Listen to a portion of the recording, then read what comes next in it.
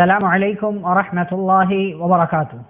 بسم اللہ والصلاة والسلام على رسول اللہ، نبینا محمد وعلى آلہ واصحابہ وموالا۔ واشہد ان لا الہ الا اللہ واشہد ان محمد رسول اللہ، اما بعد۔ معزز ناظرین، ہم مسلمانوں کو ایک ایسا کام جو کرنا چاہیے لیکن ہم نہیں کر رہے ہیں، آج کے اس درس میں انشاءاللہ ہم اسی کے بارے میں جانیں گے۔ اور اس کا فائدہ کیا ہے وہ بھی ہم جانیں گے۔ پیارے رسول صلی اللہ علیہ وسلم نے مسلمانوں کو یہ نصیحت کی ہے، اذا سمعتم المؤذن فقولوا مثل ما يقول المؤذن کہ جب تم مؤذن کو اذان دیتے ہوئے سنو، تو تم بھی ویسے ہی کہو جیسے مؤذن کہتا ہے۔ یعنی مؤذن کہتا اللہ اکبر اللہ اکبر، تو ہمیں بھی وہی دہرانا چاہیے۔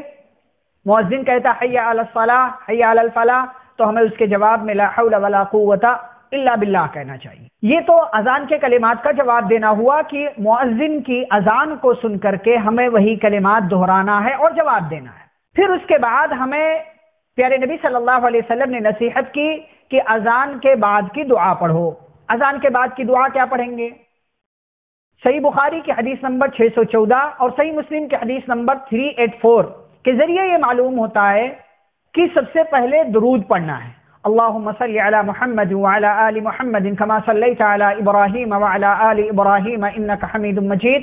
اللهم بارك على محمد وعلى آل محمد كما باركت على إبراهيم وعلى آل إبراهيم إنك حميد مجيد. اور درود پڑھنے کے بعد یہ دعا پڑھنا ہے.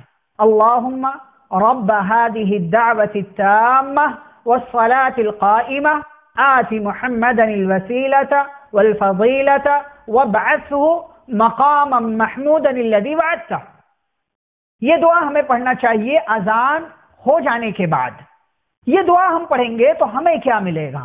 دیکھیں اس دعا کے اندر جو بعد کی دعا ہے، درود کے بعد جو ہم پڑھتے ہیں، اس کے اندر ہم پیارے نبی صلی اللہ علیہ وسلم کے تعلق سے اللہ سے ایک دعا مانگتے کہتے ہیں کہ اے اللہ، تو محمد صلی اللہ علیہ وسلم کو وسیلہ فضیلہ عطا فرما اور وہ مقام محمود عطا کر دے جس کا تو نے ان سے وعدہ کیا ہے۔ اب یہ مقام محمود کیا ہے؟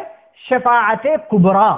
یعنی پیارے نبی صلی اللہ علیہ وسلم، مختلف لوگوں کے لیے، مومنوں کے لیے کل قیامت کے دن جب سارے لوگ پریشان ہوں گے تو ایسی صورت میں پیارے پیغمبر صلی اللہ علیہ وسلم ان کے لیے سفارش کریں گے، اللہ سے شفاعت کریں گے۔ اسے مقام محمود کہا جاتا ہے، جسے شفاعت کبرا کہتے ہیں۔ اور یہ شفاعت، یہ مقام محمود پیارے نبی صلی اللہ علیہ وسلم کو اللہ کی جانب سے عطا کیا جائے گا۔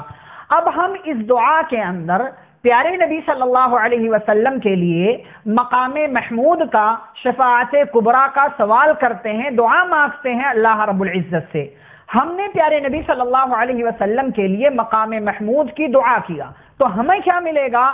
پیارے نبی صلی اللہ علیہ وسلم کہتے ہیں، حلت لہو شفاعتی یوم القیامہ، کہ جو بندہ اذان کے بعد درود پڑھتا ہے، اس کے بعد کی دعا، اللہم رب هذه الدعوت تامہ پڑھتا ہے، مکمل دعا تو اس کے لیے قیامت کے دن میری شفاعت حلال ہو جائے گی یعنی ایسا بندہ میری شفاعت کا مستحق بنے گا۔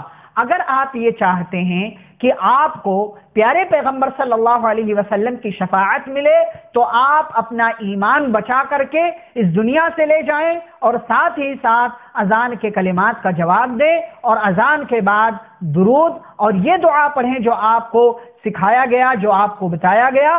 فائدہ یہ ملے گا، آپ پیارے پیغمبر صلی اللہ علیہ وسلم کے حق میں اللہ سے مقام محمود کا سوال کریں۔ بدلے میں اللہ رب العزت آپ کو نبی پاک صلی اللہ علیہ وسلم کی شفاعت کا مستحق اور حقدار بنا دے گا۔